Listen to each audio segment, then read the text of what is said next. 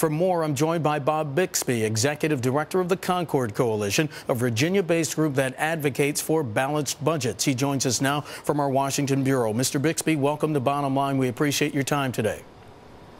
Good to be with you. Uh, before we get to the balanced budget amendment and the talk about that, a couple of years ago, back in 2009, you were expressing concerns about this very issue. What were they? Well, I mean, I think that we've been warning about uh, uh, unsustainable budget deficits for quite some time.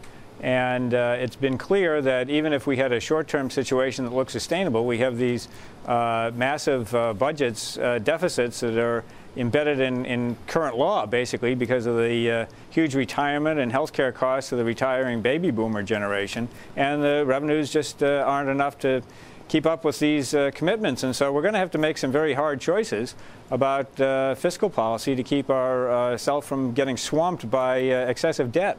Mr. Bixby, one of those hard choices that has to be made, would that involve a constitutional amendment calling for a balanced budget?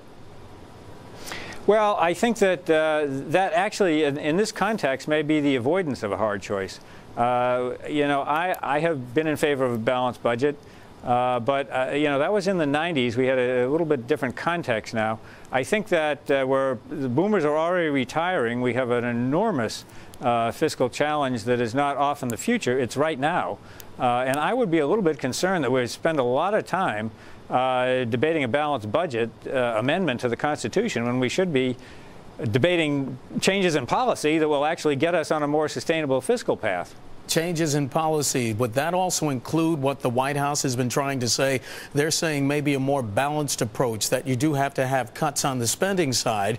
But since we have right now, since the 1950s, the lowest level of tax revenue coming in, are tax cuts or, excuse me, tax increases going to have to be a part of the equation? Uh, I think so. I mean, I think that you. I, am sort of a fan of the big, big deal approach. I think that the Bowles-Simpson Commission uh, headed about right. I think that the Rivlin, uh, uh, Rivlin Domenici Commission, which I served on, uh, headed about right. We had a, a mix of mostly spending cuts, but there were some revenues, mostly in the form of reforming tax expenditures, which are uh, closing deductions and credits and that sort of thing. People refer to them sometimes as loopholes.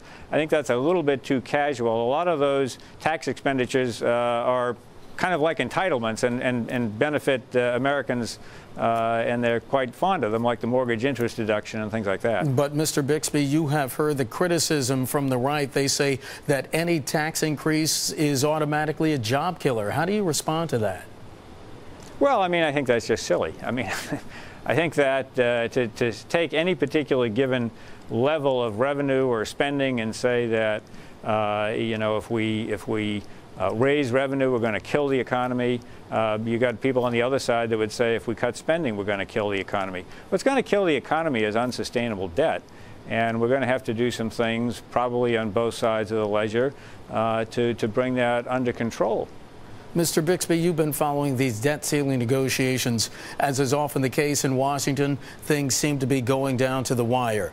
Is a deal going to get done? I'm not sure, which is uh, pretty remarkable. I mean, the idea of the United States defaulting in any form, doesn't have to be on its debt, but just not paying its bills, uh, would have been unthinkable up until uh, very recently. Uh, I, I, think they could get so close to the edge that they may fall over it without even um, wanting to. So I think there's a very dangerous game that is being played right now. At some point, uh, something will get done because it has to.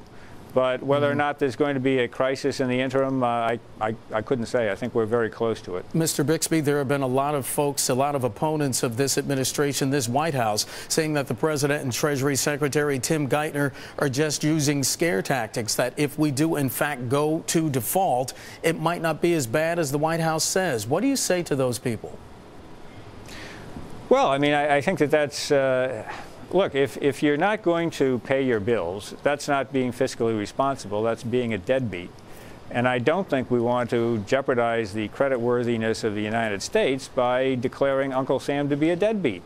Uh, so, look, we could continue to pay some bills, there's no question about that, and we could probably continue to pay interest on the debt. But we would not be able to pay all of our bills without borrowing authority, there's no question. And so some bills would not get paid. And, uh, you know, the, the, people that wouldn't get paid would, would, uh, would um, uh, certainly be angry about that. And I think uh, in total, the, the, American people would be angry about it because it would, it would symbolize a government out of control. I really don't think mm -hmm. that that is a, uh, a reasonable, uh, rational, or responsible position.